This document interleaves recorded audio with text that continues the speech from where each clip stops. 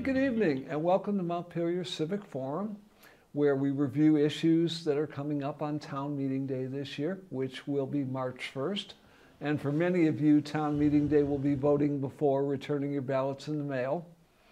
And tonight we're going to do one that's different, and that's the Central Vermont Public Safety Authority. And we have one candidate for the Central Vermont Public Safety Authority for one slot, and the candidate is Kim Cheney. Kim, welcome to the show. Thank you. Who is Kim Cheney? How long has Kim Cheney been in Montpelier? Oh, since 1967, I believe. Boy, it's a different Montpelier than it was then. It's been an interesting trip. How so? What was Montpelier in 1967? In, in terms of public safety? Well, in 1967, I was working on education in the education department, the first lawyer that they had. And then I was One was, of many now. well, it's pretty extraordinary. Um, they never had a lawyer before, and like most of the world, it's gotten increasingly technical and more. Uh, I guess that more rules crop up to manage public business, and it takes more lawyers to run it. Uh, and then, um, then I was state's attorney for four years. I was the first full-time state's attorney in Washington County, and uh, then I was attorney general for two years and private law practice from then until I said 80 is a good age to retire, but I hung on till about 82, I think. So When you were doing the, the um, attorney in Washington County, you had the chance to see more than Montpelier. And Washington County is more towns than Montpelier. yes, Did you start to see Washington County more holistically in terms of public safety? I have a hard time with this word holistic, but yes. Um, Rather than a series of autonomous little cantons no, sitting next to each other? We're still autonomous little cantons with our own agendas, our ways, and they're very hard to breach, frankly. Um, but I do think there was a pretty common ethic amongst law enforcement, police, when we're talking about. Um, and I found I would say universal respect for the law and to, to be straight with people and um, I found it to be um, I hadn't worked with police before. I found it fascinating. I became there's some very brave people doing incredible work and it was a pleasure to work with them. And then I had my I had my struggles, but uh, they, What kind of struggles? Well, it was You being your office, not you personally. well. It's hard to separate those out. The state's attorney has authority to decide who gets prosecuted and who doesn't. Right. and I had a a belief since vindicated that the war on drugs was a foolish thing to be doing. Now, what year are we talking Oh, about? that 68, belief? 69, During the heyday of, of the introduction of the new Vermont. and the war on drugs. Right. Um, and there was a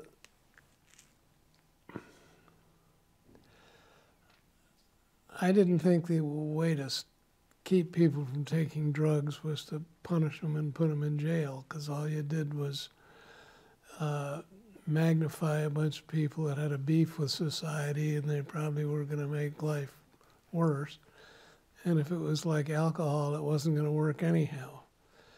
And the collateral damage was their families. Yeah, and uh, students getting stung with a um, criminal offense could affect their whole lives in ways that I thought was unfair. So we looked for different remedies and different ways of dealing with people. Were we ahead of other counties in Vermont at that point? this was a very personal feeling, and I don't think you can generalize. I think every state's attorney has to understand the people in his or her county and what they're likely to tolerate or not tolerate and what your own sense of ethics and right and wrong is and it's uh, it's a very individualistic performance in many ways Were other counties taking that same tack? I mean, surely you kept track of your peers. Well i don't know any specific statistics um, just your general impression. I, yeah, I think there was a general sense that there's got to be a better way than trying to lock everybody up because we can't. We don't have the resources, and the collateral damage is worse. So there, it was a time of social upheaval, and and uh, the uh, political climate was not very different than it is today. There was a right and a left, and they were chewing on each other as they usually do. Would you have envisioned, in, in the current budget, uh, the police are going to pick up uh, an additional social worker in addition to the one that we share with Barre right now. Would you have envisioned that back then, that the police would have social Oh, workers in tow? absolutely. I mean, it doesn't take very long to see that a lot of people who commit what are on the books of crimes have a lot going on in their lives that produce this. And it isn't people that set out to be bad people and go to jail. They have a background that that leads them. Some people are truly malicious, I think, but that's not the general run of the mill. And uh, some people are out to make illegal money, and but they're very. I mean, uh, it's a big population with a lot of different motivations, and I think any law enforcement system has to recognize that and try to treat them with some type of individuality. And I think social workers are, helpful with that, particularly in the mental health field. Restorative justice, was that envisioned at all as a We're- focus? It is now. Yeah, we began working on it a little bit, sure. When did the Public Safety Authority start? I'm thinking about 2014. I've been on the authority, as you know, I'm a candidate for reelection. I've served two three year terms, and I, I'm a candidate for my final three year term. Um, and it was a, an idea if you think about the world at all, you think in the Hoff era, I can remember talking about regional cooperation was the beginning of the freedom of Vermont to move into the into the modern age. And as you started this conversation about different police agencies in the county, all in their own Including the sheriff. yeah. Um, so, public safety was originally um, uh, the idea that we could consolidate police departments, just as you said, and bring them under some common management and budgetary so we weren't duplicating them. Um, that kind of morphed into communications. Communications in the sense of dispatch or, or in a, a Well- less formal sense? yes. Um, when I was state's attorney, we used to have so-called top cob meetings on a monthly or semi-often basis, talk about common problems. Um, but now, the Public Safety Authority morphed into how can we keep up a communication system, which is all the radio infrastructure throughout the county, and then dispatching um, and it's very complicated. Um, so its present dilemma is, I think, the, the noble idea of regional communication is is cratering on the notion that every little town is going to go on their own. And the problem I see is there's there's a lot of money that's suddenly landing in the state, but it's mainly for broadband and not local radio communications. So there's very little public support for radio communications. And they're not cheap. We did a uh, assessment of the communications in central Vermont, we meaning the Public Safety Authority. we hired a consultant Televate. The bottom line is virtually all our radio communications, which is what uh, fire and emergency services rely on, are obsolete and decaying and uh, underinvested over the years. yeah, they, they, were built in the in the 90s mostly, and they haven't their time has come. And uh, the price tag for doing that is somewhere in the $8 million range. The state has a backbone for its highway patrol and for its, its sheriff's department. Is well, it possible okay. to piggyback there's on that? Two, there's the law enforcement side, police, which has state communications through the state police, and at least in Barre and Montpelier, and I think Northfield.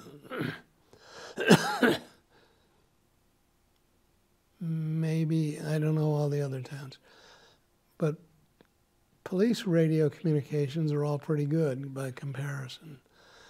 Fire and emergency services are the ones that serve the whole community, and they're the ones that that's where the principal deficiencies Who is are. in the authority right now? What towns and Just Barre and Montpelier.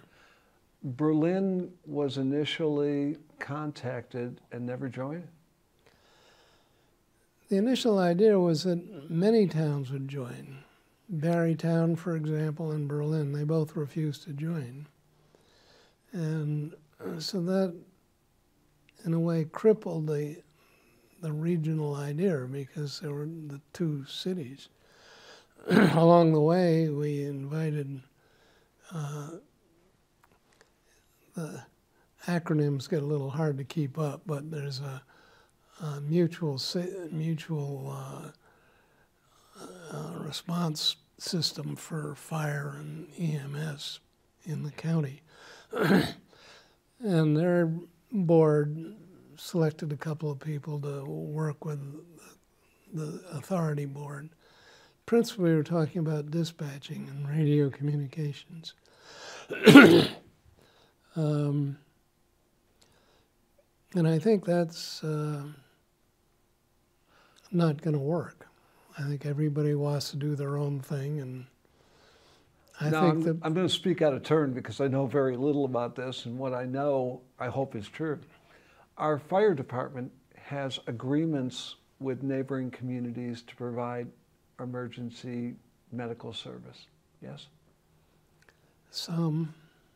How do we communicate with Typically, them? if you're, pick a town. East Montpelier? Right. That's good, good solid town. You get sick. Typically, you get a cell phone if you have cell coverage or a landline and you call 911. And you know what happens with that call? It goes to Williston. That's the state public safety answering thing closest to Washington County. So that call goes to Williston. Then the call taker in Williston looks on their charts or whatever that data they have and say, oh, if you need an ambulance, um, you call the Montpelier Dispatch Service because Montpelier dispatches for that town. And Montpelier will either call, typically, first will call the, the volunteer fire EMS people in East Montpelier. And I, I expect if for some reason there's no way to get there, they might dispatch a Montpelier ambulance. um, one of the problems is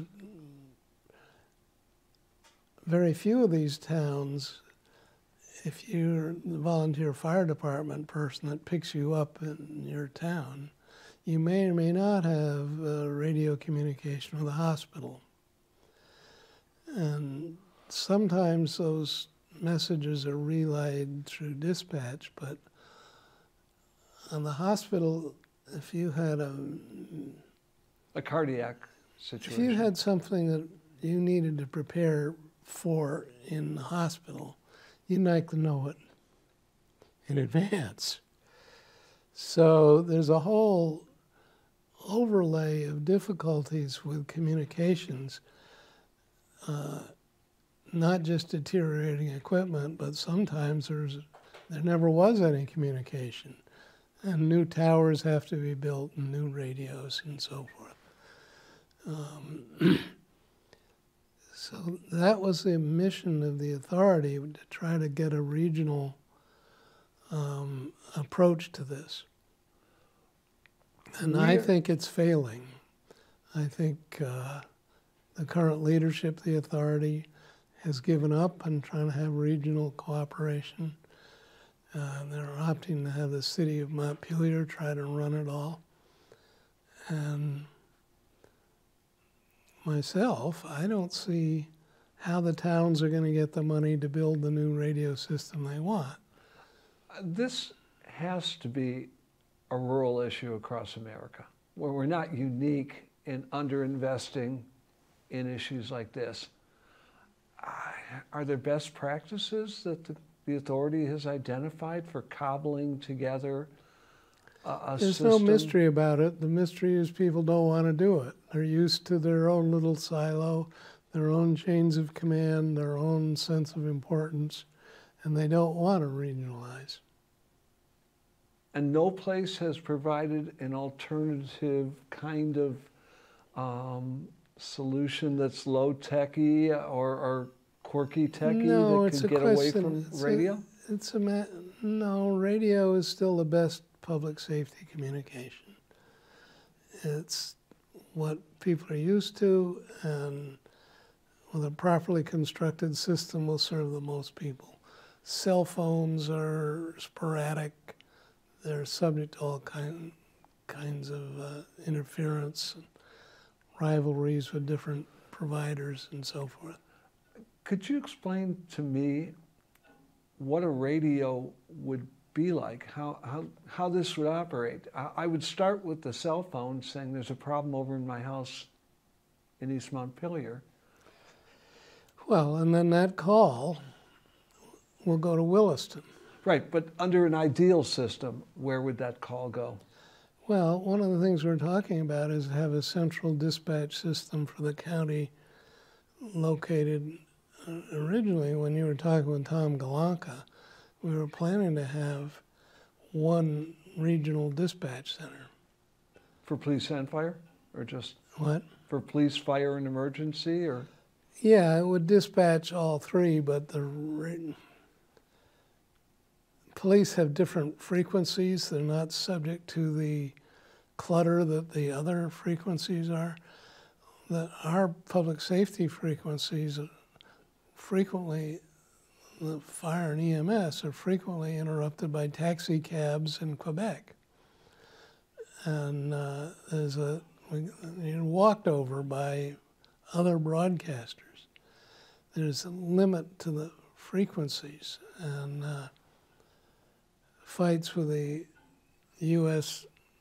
FAA and the Canadian equivalent, um, so they don't overlap. But it, it's a very complicated structure. Is, I assume that this is an issue all over Vermont.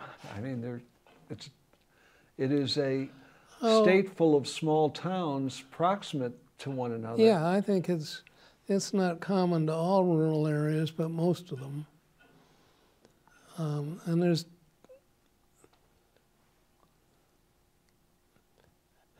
you're you're pushing on a really difficult problem. The problem, as I see, is there needs to be some state-funded support That's exactly where I was heading. for local uh, systems, and they need to be managed properly, and there needs to be planning so that if if system A fails, system E can pick it up, and the people are trained in both systems to. If you're a Montpelier dispatcher, you have to know which of our I'm not sure the number, different towers that serve. You have to know which tower to send your message to. And uh, some of those are more subject to interference than others. A new system would be a simulcast, all the systems would be broadcast so that everybody could hear it. Um, and it would actually select, if you're in the ambulance in place A, it would select the tower to get your messages to and from. But it, as I said, I am fearful. I don't see any state money unless somehow we can get broadband and public safety money or facilities to work together.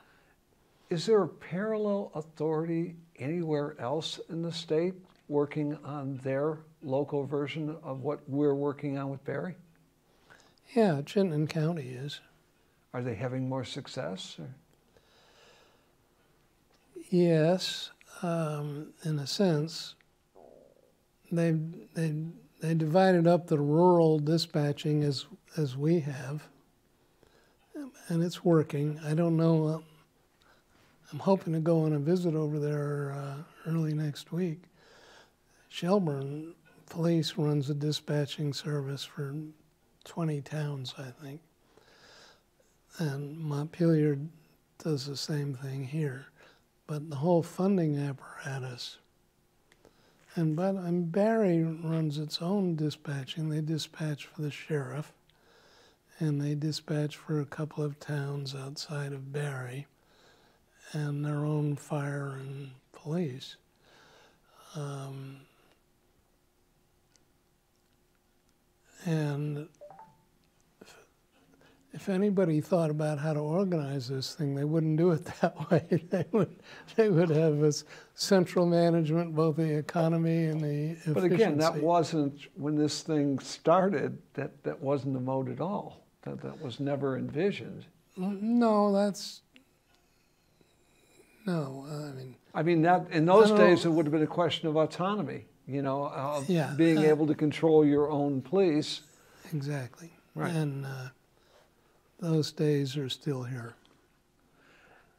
Does the authority, you've been on the authority for six years, what are the victories that the authority has had in six years? And the most significant achievement, well, first of all, I think it's been valuable to talk about all these things, even if nothing was done. It's gotten people thinking more globally, even if they can't quite pull it together to do it. Second, getting an assessment done of all the systems, getting it down on paper with knowledgeable people saying, this is broke. It isn't going to work anymore. Instead of having one fire chief and pick East Montpelier say, this isn't going to work for us much longer.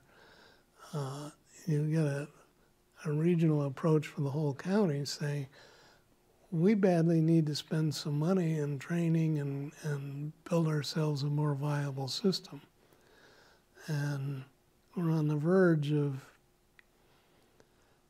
trying, we have the assessment.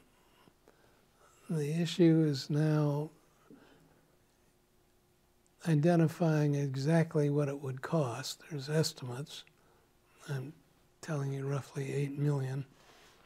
8 million would do one county or would set up a model that other counties could then do at much less expense? No, no, no, no. That would be the, roughly the cost of the equipment, the towers and the wires and the radios and to to come up to contemporary speeds. Would there be an ancillary use for those towers besides this? Well, that's a good question. You're asking me essentially is if we're spending all this money on broadband and we're going to give it all to private cell phone people, why aren't those tire towers going to be public?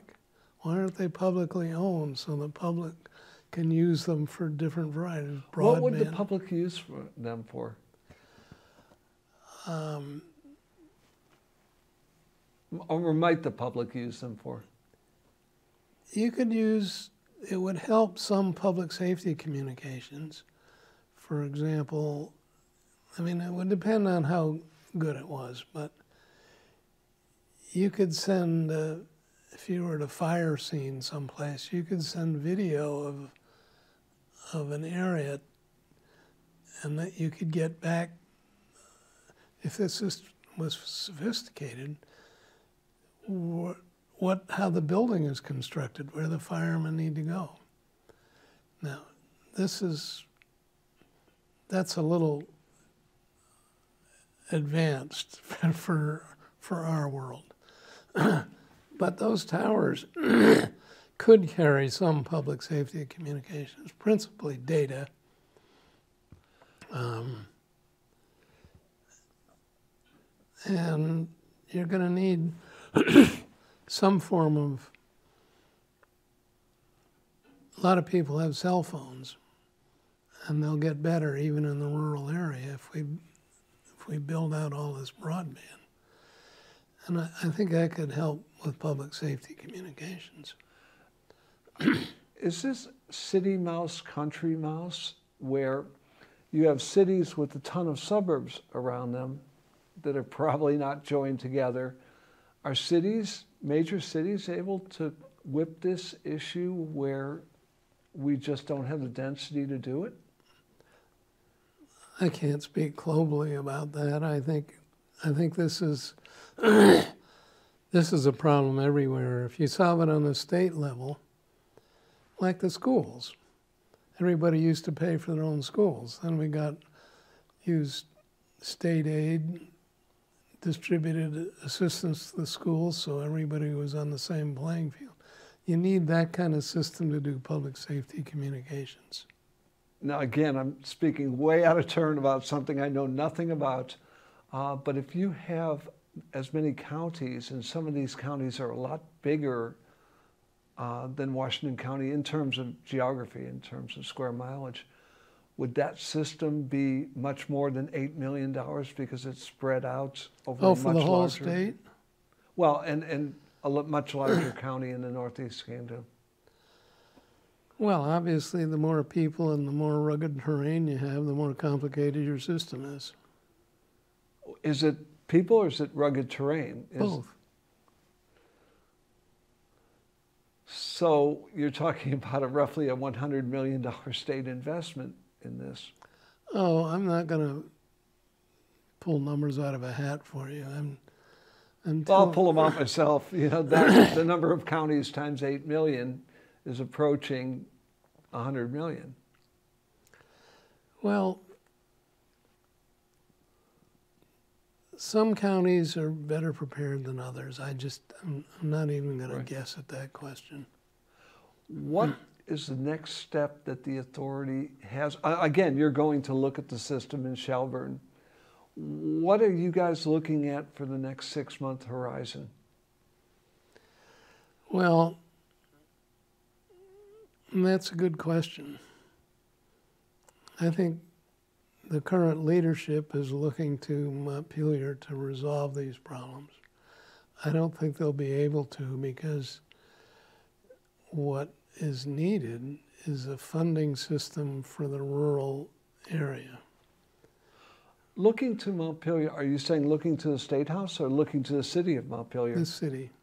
Who in the city of Montpelier would they be looking to? Would they be looking to Bill Fraser, our city manager? Would they be looking to council? They'd be looking to Brian Peete, who will do chief. what Bill Fraser wants him to do. Then ultimately it's the city manager they would be looking to. But aren't we sitting on this commission, on this authority? Sorry. Aren't we sitting on this authority so that we don't have to look to Bill Fraser to solve it? I thought so, but I'm, as I say, I disagree with the current leadership of the authority. In terms of, let's move from fire and emergency to police coordination. Are we moving, what, what moves are we making? I know we have a social worker that we share with the Barre Police Department. Are there Well- any other moves where the police departments are coming together?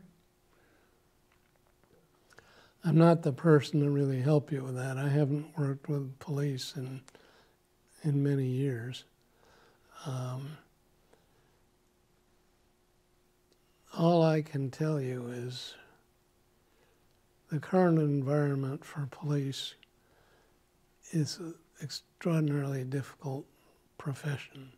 It's hard to find people who would put up with a kind of um, environment that they have to work in with public uh,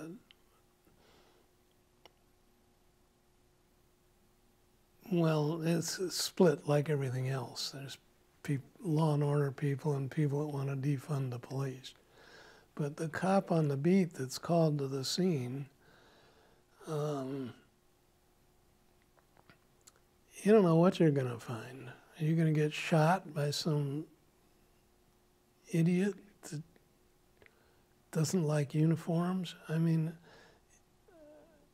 and if you shoot back, It will be filmed at least. We're picking up body cams so that that Well, episode will be. that may be some consolation to the A- survivor. Absolutely.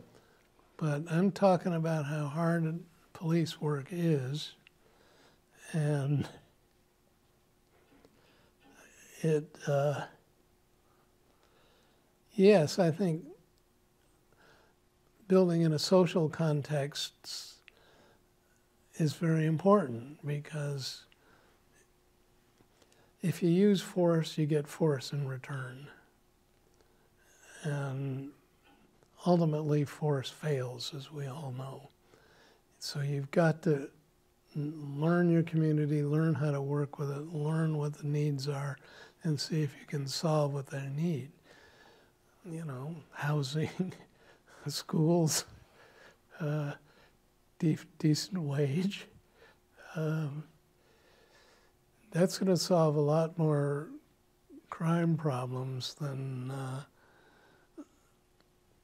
that's where it all starts. So you got to, it all goes together.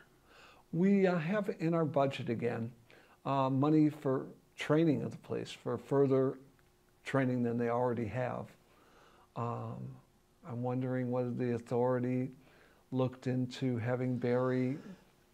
Well, we've been concentrating on fire and. EMS um, because our our member towns, um, Barre and Montpelier, have police departments, but the other people that use our dispatching service don't. So we've been focusing on the, I think it's fair to say, the more rural areas.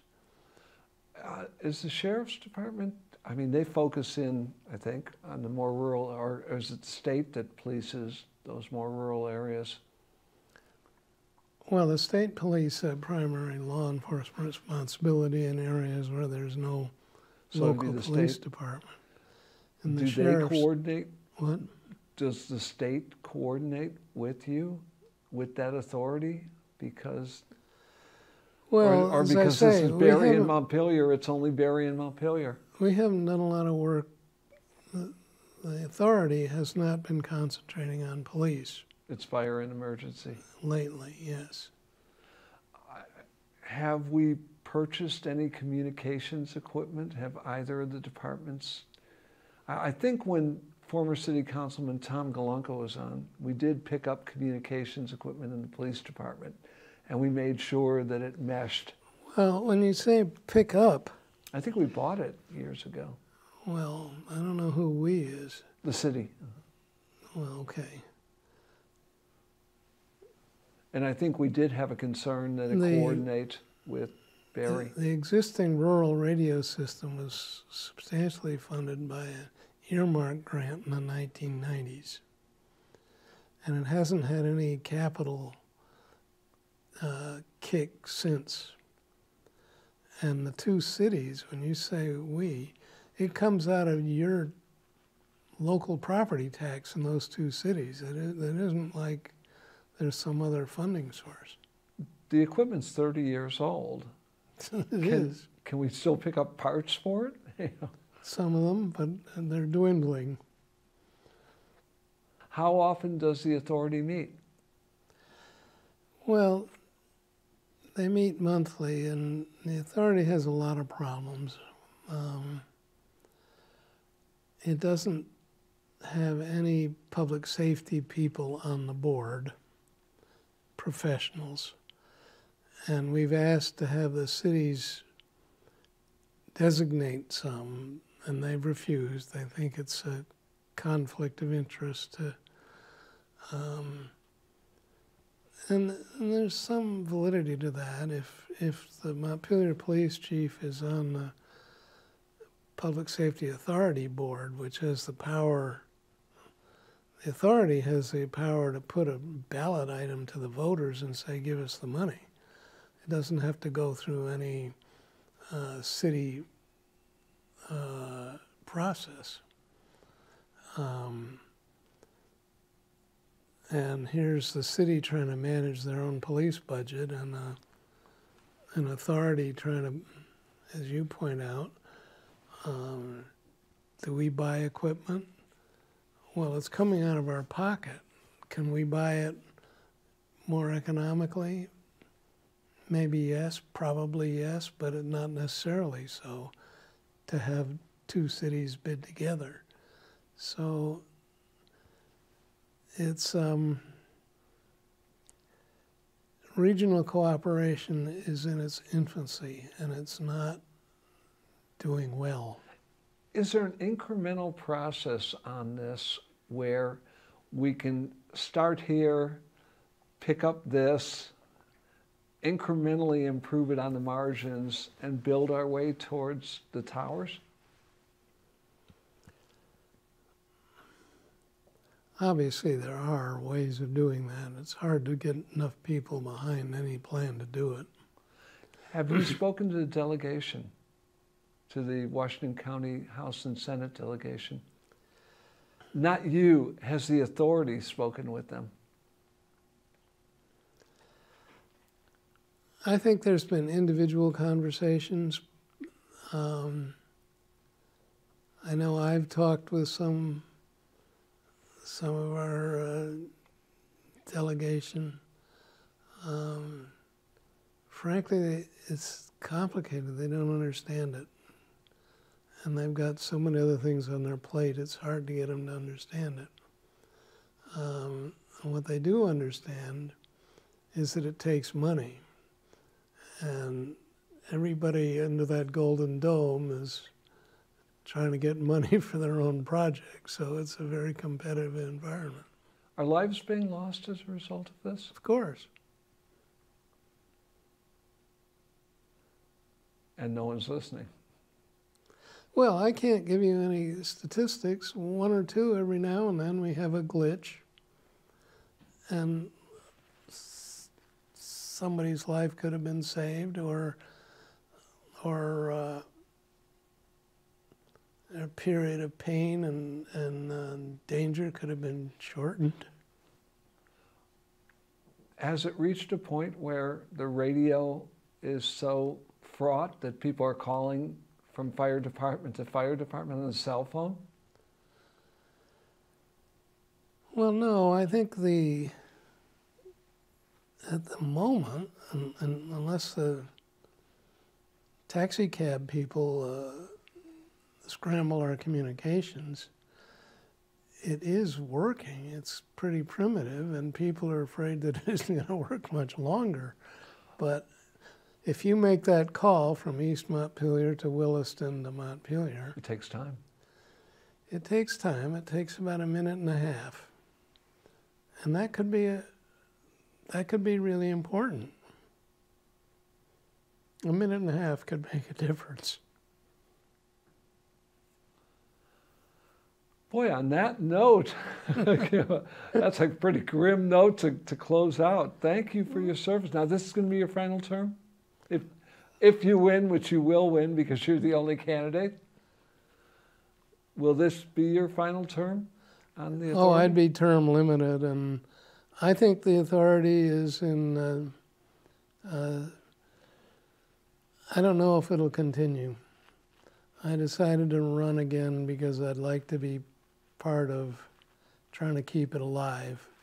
But I think there's forces at work that that don't want to keep it alive. And I will leave that as a cliffhanger as to who those forces might be.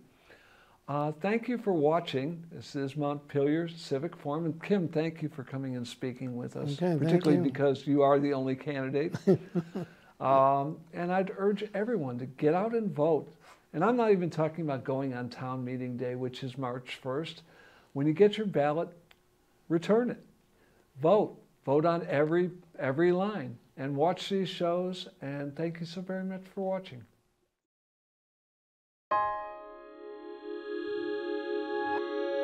you